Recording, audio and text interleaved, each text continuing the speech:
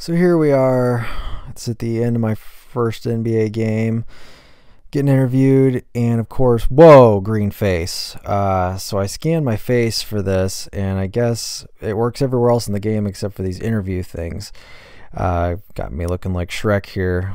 Wish it looks a little more like the Incredible Hulk, but my scan made my face look all buggy. So the other weird thing in this game is everything looks fine after a game. You look in focus, and you know this is just traditional after the end of the game cutscene. And you can start to see things start degrading pretty fast here, and all of a sudden everything's out of focus. You got Michael B. Jordan out of focus. All of a sudden I'm out of focus.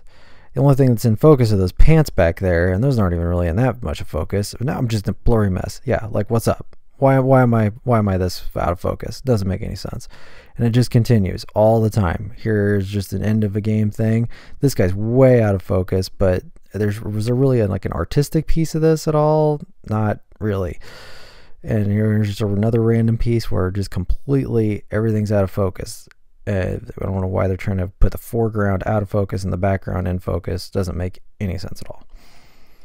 So this was a thing where I was in a cutscene. Um, I went to practice, and all of a sudden I got pulled out and uh, to do a little cutscene piece. And here I boom right through a wall, just running straight through it. Now I gotta you know test my vertical, but I walking through a wall seems a little more magic to me.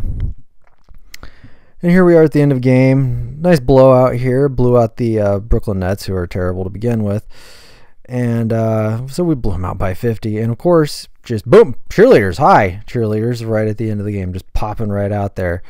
They just pop straight in, no transition at all. Let's take a look at that again. Three, two, one, boom. Hi, cheerleaders. How you doing?